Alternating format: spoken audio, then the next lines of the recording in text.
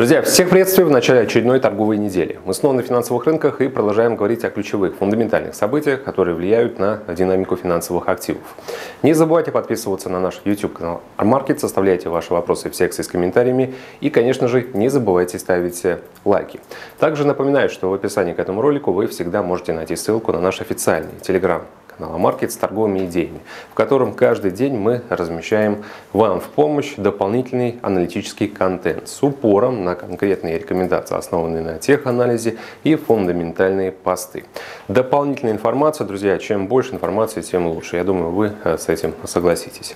Ну что ж, эта неделя долгожданная, потому что сразу же в предстоящие дни нас ожидает отчет по инфляции в США, ноябрьские цифры. И после данных по инфляции в среду нас ждет заседание американского регулятора, оно точнее начнется во вторник, но итоги будут подведены в среду.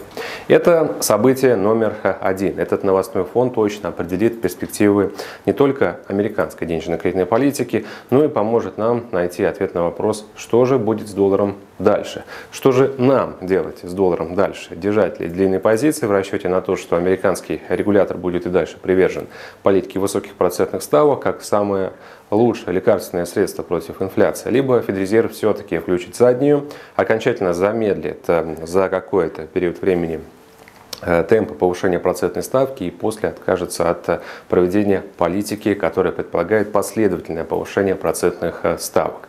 Так вот, те отчеты, ну в частности отчет по инфляции самого заседания американского регулятора, это для нас тот самый уровень водораздела, когда мы с вами, друзья, решаем, держим длинные позиции, либо пришло время уже продавать в расчете на то, что в 2023 году индекс доллара будет слабеть, соответственно, как против мажора, мажорных инструментов конкурентов, так и вдоль всего э, широкого рынка. Сейчас индекс доллара на отметке 105.13. Я э, уверен, то, что мои коллеги не оставили вас без фундаментальной поддержки на прошлой неделе, но если есть какие-то фундаментальные пробелы, их нужно, конечно же, закрыть. Честно говоря, на прошлой неделе отчетов было не так уж и много значимых, на которые можно было бы обратить внимание.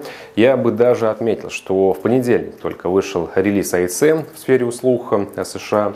В частности, хороший цифры, рост с 54,4 до 56,5. Сфера услуг – это один из основных компонентов, которые влияют на показатели ВВП. Поэтому после такой статистики я думаю, что все, кто хотел убедиться в том, что американская экономика довольно прочно стоит на ногах, они в этом убедились. Еще один релиз, который тянется еще с позапрошлой пятницы, это статистика по Non-Farm Payrolls, по американскому рынку труда.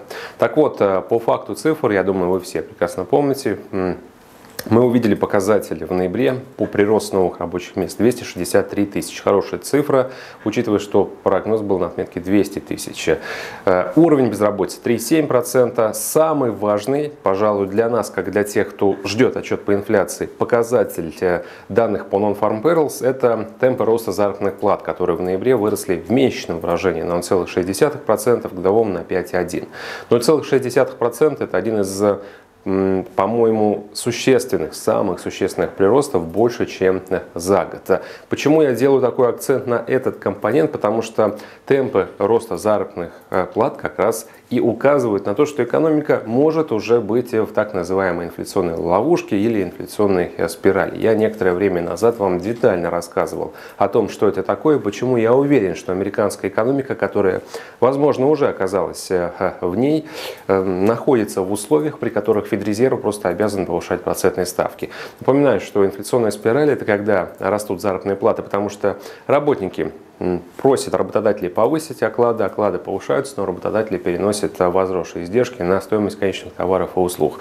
И вот этот замкнутый круг э, делает э, механизм роста цен самоподдерживающимся. Но для того, чтобы мы убедились в этом, нам нужно увидеть э, соответствующий рост базового показателя инфляции. Друзья, эти данные как раз выйдут э, завтра, и этот отчет точно даст нам понять, Является ли угроза высокой инфляции по-прежнему страшной проблемой для американской экономики, либо все-таки индекс потребительских цен уже идет на спад? И э, мы ждали как раз ноябрьские цифры, потому что хотим потенциально увидеть либо разворот в тенденции роста цен, либо еще раз, э, особенно это актуально для покупателей доллара, получить сигнал о том, что очень рано отказываться от покупок американской валюты, потому что инфляция остается высокой, высокой, потенциально даже сохраняет долгосрочный восходящий тренд и требует соответствующих действий от американского регулятора.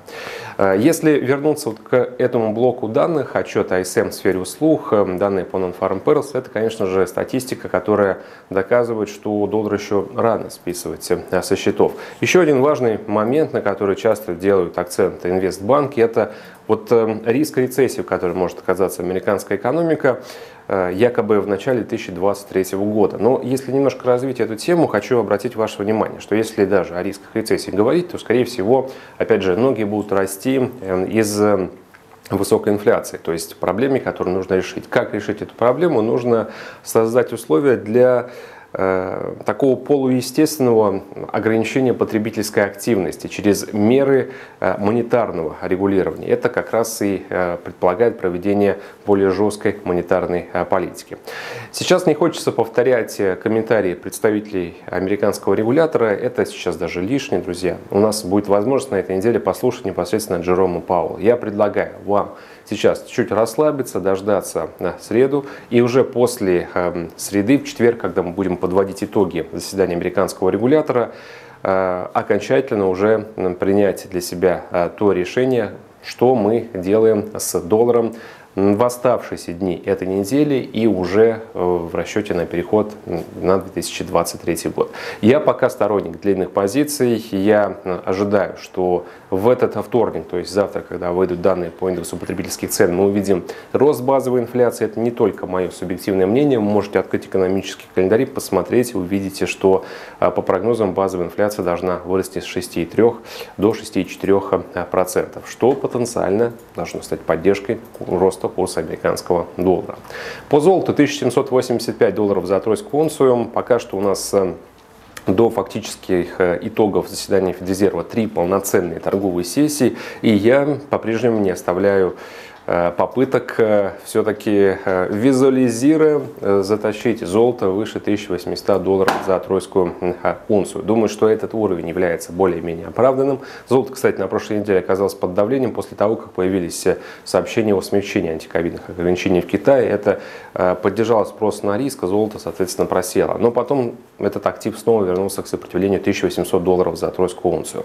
В любом случае, друзья, долгосрочные перспективы золота будут зависеть от того, что решит Федрезерв и от того, что произойдет с долларом. Пока у нас э, такое подвешенное состояние этого новостного фона, пока мы ждем заседание американского регулятора, я думаю, что длинные позиции останутся в приоритете и золото будет интересно для а, покупателей. Европейская валюта 1.0508 тоже. После заседания Федрезерва мы получим ответ, как нам действовать и по евро тоже. Я сейчас рекомендую не добавлять этот актив в а, портфель, потому что на таком новостном фоне неопределенном и ожидании того, что главные события только впереди, это очень рискованный а, трейдинг. В частности, евро последние дни остается под влиянием рыночных настроений, которые формируются из-за комментариев представителей Европейского центрального банка. Причем эти комментарии настолько противоположные и настолько противоречащие друг другу, что трейдеры даже не могут определить, э, насколько Европейский центральный банк повысит ставку, кстати говоря, уже в этот четверг. Один из руководителей Европейского центрального банка, Франсуа де Велюра, считает, что ее нужно повысить на 50 базисных пунктов. После этого член Совета управляющих Габриэль Маклуб считает, что что уместно повысить ставку на 25 базисных пунктов. Лагард за 75 базисных пунктов. Главный экономист Европейского центрального банка Филипп Лейн за 50 базисных пунктов. Ну, если придерживаться теории как бы, среднего уровня повышения процентной ставки, то, скорее всего, это будет в районе 50%. И это делает евро менее привлекательным, чем доллар, потому что контраст монетарных политик остается по-прежнему разительным. По биткоину я опять же, сторонник того, что мы э, еще увидим впереди полноценная медвежья ралли. Тема краха биржи FTX не утихает, ее по-прежнему обсуждают. По-прежнему мы наблюдаем за э, слабым интересом со стороны институционалов к рынку криптовалют и ждем плохих новостей. И я еще повторюсь, сторонник того, что жесткая монетарная политика Федрезерва – это то, что продлится какое-то время, что будет э, повышать привлекательность доллара, в том числе и против альтернативных э, активов э, рынка криптовалют. И по биткоину, как и раньше, жду пробоя поддержки 15 тысяч ровно. И рынок нефти 76.53, новостной фон тотально располагает к тому, чтобы нефть росла. Но почему-то нефть снижается. Вот обратите внимание, на смягчение антиковидных ограничений в Китае – это потенциальный рост экономической активности то, что поддержит спрос. Потолок цен, который приведет э, на российскую нефть, приведет к тому, что будут ограничены поставки из России. Производство э, просядет почти на 2 миллиона баррелей. ОПЕК могли бы э, помочь сбалансировать рынок нефти, но они не стали этого делать две недели назад, а приняли решение придерживаться прежних квот по уровню нефтедобычи, которые, кстати, предполагают сокращение производства нефти на 2 миллиона баррелей. И в прошлом месяце страны ОПЕК сократили производство на 700 тысяч баррелей. Это самое значительное снижение больше, чем а, за год. Выводы нужно делать, друзья на мой взгляд, очевидный. Рынок нефти крайне сильно перепродан, и вот где-то скоро должен произойти разворот. На этом, собственно, все. Большое спасибо за внимание и хорошей торговой недели. Всем пока.